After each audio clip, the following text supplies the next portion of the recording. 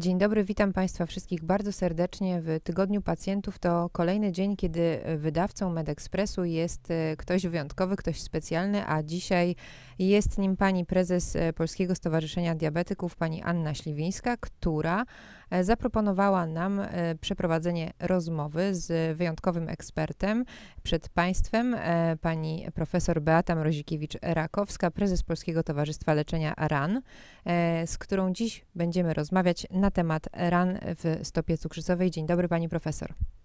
Witam Państwa serdecznie, bardzo mi miło.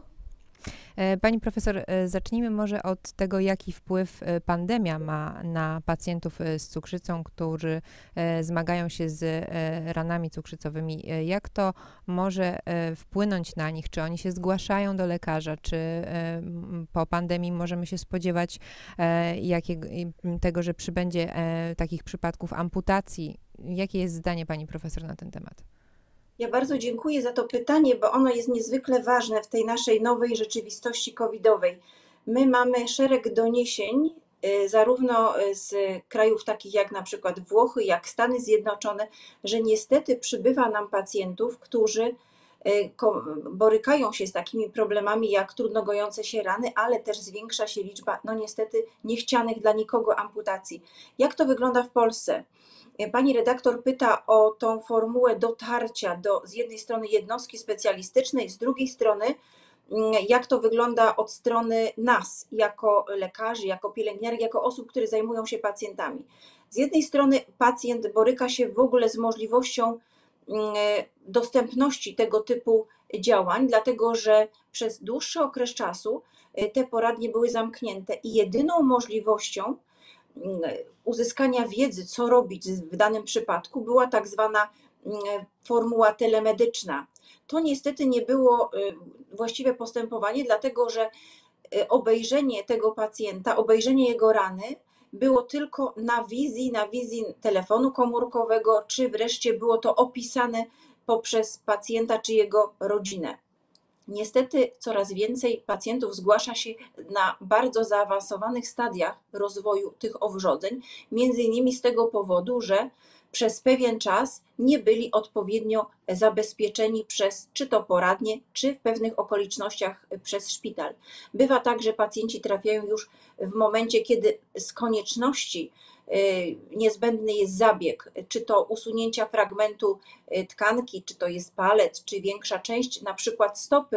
Y, oczywiście tego typu zdarzenia miały miejsce przed erą COVID-u, natomiast ta szczególna sytuacja, która dotknęła nas wszystkich, w szczególny sposób właśnie dotyka pacjentów z cukrzycą i jej powikłaniami. Dlatego myślę, że to, o czym pani redaktor wspomina, a więc ta droga telemedyczna, chociaż niedoskonała, jest w pewnych sytuacjach jedyną, która ratuje pacjenta.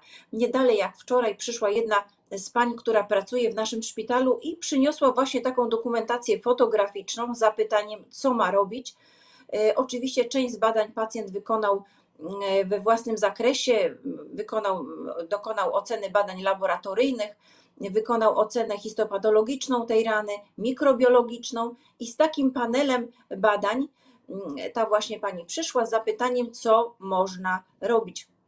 Natomiast ja myślę, że generalnie w dziedzinie leczenia ran w Polsce z jednej strony możemy powiedzieć, dokonał się pewien pozytywny progres, dlatego że mamy już całkiem nieźle wykwalifikowaną kadrę lekarzy, pielęgniarek i my w Polskim Towarzystwie Leczenia Ran mamy przyjemność organizować kolejny taki kurs, ogólnopolski program leczenia ran, podczas którego, no niestety w formie mm, onlineowej, wiele z osób właśnie uzyskało taką wiedzę, jak e, podejmować leczenie, jak radzić sobie w pewnych szczególnych, trudnych sytuacjach. No ale oczywiście nie jest to taka droga, jakiej byśmy sobie życzyli, a więc tak zwana droga, o której mówimy, że jest drogą kontaktową, a więc ten bezpośredni kontakt z pacjentem, z jego raną, czy w przypadku kursów właśnie też e, z taką bezpośrednią e, możliwością e, dotknięcia tego, z czym będziemy mieli do czynienia. Więc na pewno trudny czas, trudny okres,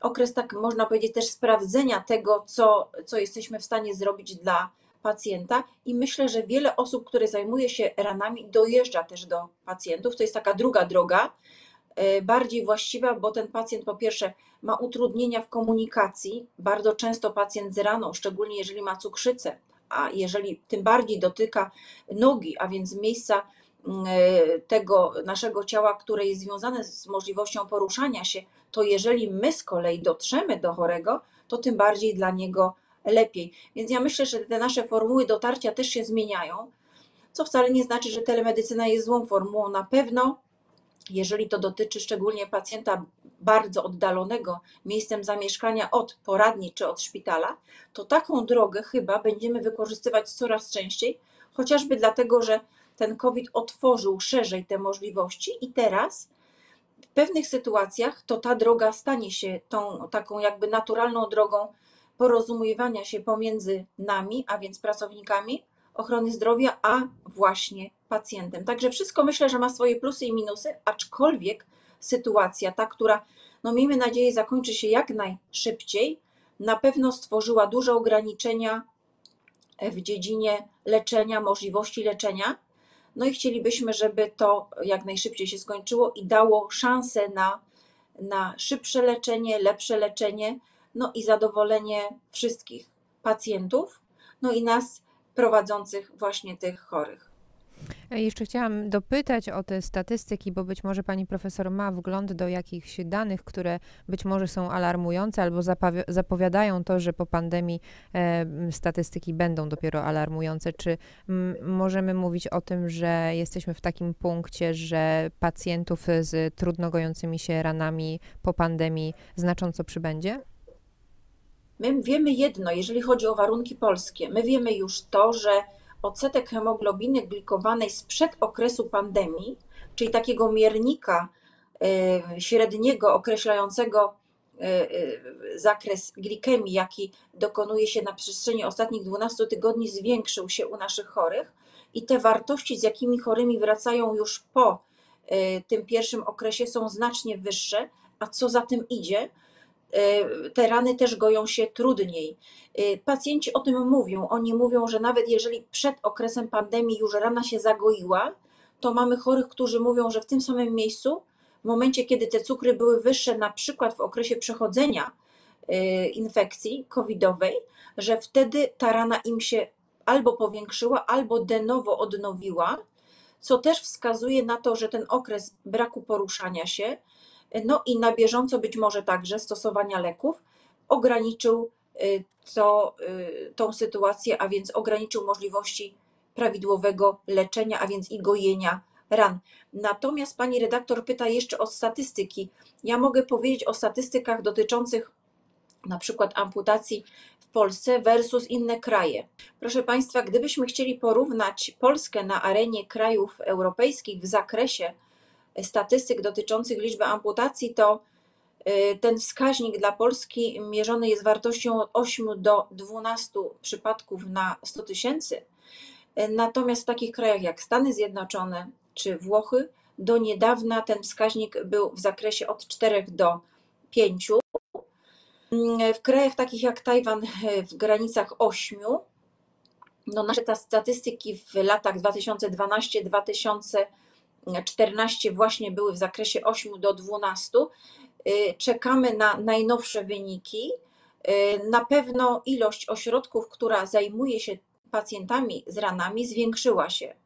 Na pewno zwiększyła się dostępność, jeżeli chodzi o możliwości rewaskularyzacji, a więc y, miejsc, w których pacjenci mogą uzyskać dostęp pomocy chirurga naczyniowego, ale cały czas jest to kropla w morzu potrzeb i liczymy na to, że osób, które będą zajmowały się ranami, będzie więcej, ośrodków, które tym się zajmują, będzie więcej, a stąd też i pacjentów, którzy będą borykali się z tymi ranami, będzie mniej, a nawet jeżeli one będą występowały, to ich los będzie mm, znacznie lepszy i na pewno będzie tych amputacji dużo mniej. E, jak to jest, pani profesor, w przypadku takich e, niewielkich ran, które mogą się e, przerodzić w coś poważniejszego? Czy pacjenci mają taką tendencję do tego, by lekceważyć te mniejsze rany i nie zgłaszać się z nimi do lekarza? Ja myślę, że to jest tak jak w życiu u każdej osoby. Jeżeli coś jest małego i nie sprawia dużo dolegliwości, to czekamy, aż to samo się wyleczy. Jak to jest w przypadku cukrzycy? Cukrzyca niesie ze sobą pewien niebezpieczny element, mianowicie tym elementem jest neuropatia, czyli brak odczuwania bólu. Jeżeli mamy na nodze to, co nazywamy modzelem, a więc to jest taka warstwa grubej skóry, którą nazywamy hiperkeratotyczną, to gdy odczuwamy ból, no na pewno coś z tym zrobimy. Postaramy się to mm, prawda, usunąć, iść do podologa, do podiatry, czy wreszcie do kosmetyczki, która rzeczywiście usunie tą zmianę. Natomiast chory z cukrzycą wielokrotnie nie odczuwa tej zmiany.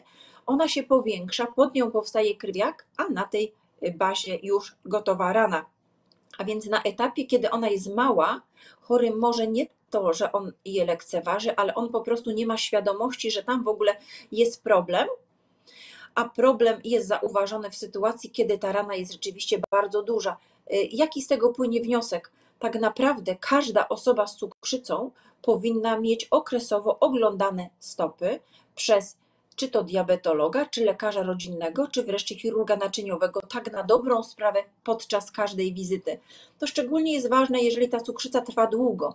Y, dłuższy czas trwania cukrzycy na pewno ryzyko tej neuropatii zwiększa, więc można powiedzieć, że pacjent jest w naszych rękach i my się cieszymy z tego, jeżeli tak jest i jeżeli mamy szansę oglądać go częściej.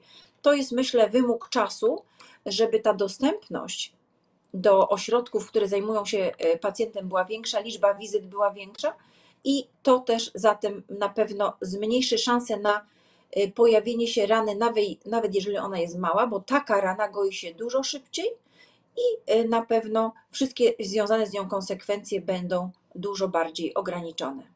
Czyli z pewnością powinno być tak, że standardem nie powinna być jedna wizyta takiego pacjenta E, do roku u, lekarza, tylko znacznie częściej, tak?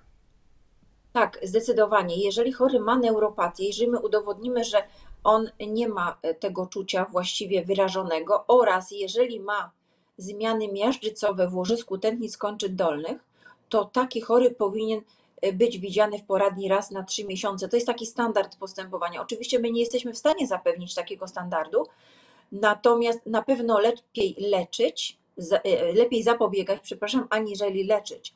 Więc zdecydowanie lepiej mm, dokonywać częstszych wizyt screeningowych, nawet jeżeli nic się nie dzieje, aniżeli bić na larum w sytuacji, kiedy mamy już poważny problem.